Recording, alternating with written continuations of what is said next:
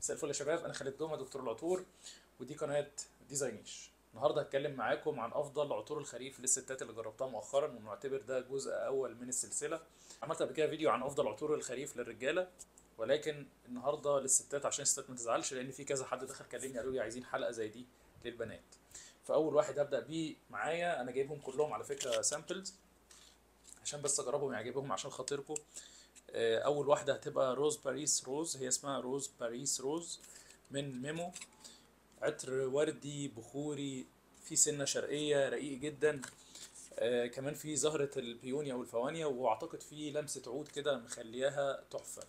ال perfume ممتاز لو لقيتيه أو بتحبي ال niche أو ال budget بتاعك عالي شوية اشتريه ده بيكون شكل الإزازة بتاعتها.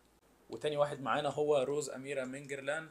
Rose Amira هو ده شكل الإزازة بتاعتها من جوه دي بتكون أزايز Guerlain ال line الشرقي. آه ال line الشرقي ال Guerlain هو line متقبل على فكرة جدا. هو نفسه اللي معمول منه آه Santal Royal اللي ورايا ومعمول منه Patchouli Ardent. ولكن Rose Amira أنا بشوفها perfume تحفة. جربت منه ال sample دي بصراحة تحفة ولكن اداؤه متوسط شوية بس مناسب قوي للخريف طيب هندخل بعد كده على حاجة budget أقل شوية وهي Burberry Body Burberry Body هي زي ما انت شايف كده يعني هو ده شكل الإزازة شكلها بيكون زي القلم في بنات كتير عارفاها ولكن أنصحك تشتري نسخة ال eau de parfum هي اللي هتكون مناسبة للأجواء اللي إحنا فيها ما تشتريش لا ال Tender ولا ال eau de toilette دي Burberry Body بعد كده هندخل على حاجة niche سعرها حلو في أسعار ال designer عادي اسمها Juliette Has a Gun Not a Perfume Juliette Has a Gun هو اسم ال brand و Not a Perfume هو اسم ال perfume نفسه. ال perfume مسكي جميل تقدري تعمليه layering لو انت بتحبي المسك وريحة النظافة تقدري تعمليه layering بعطور تانية هيكون تحفة.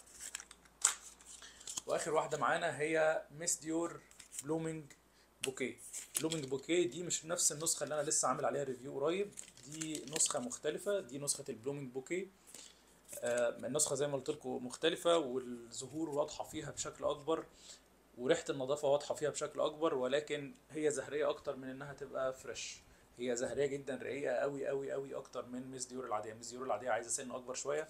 ممكن نقول إن دي البناتي بتاعت Miss Dior يعني. اسمها Blooming Bouquet وده شكل الإزازة بتاعتها عشان اللي مش عارفها. تابعيني عشان فيديوهات أكتر عشان تشوفي الجزء التاني من سلسلة العطور الخريفية لما تنزل وكمان عشان هنعمل حلقة للعطور الشتوي. فتابعيني وسيبي لي في ال comments تحت. لو في perfume في بالك حابب إن أنا أتكلم عنه مع العلم إن أنا مش ببيع. ما تنسيش تعملي save للفيديو عشان ترجعي له بعدين. و like and share لأصحابك. ودمتم بخير. 回复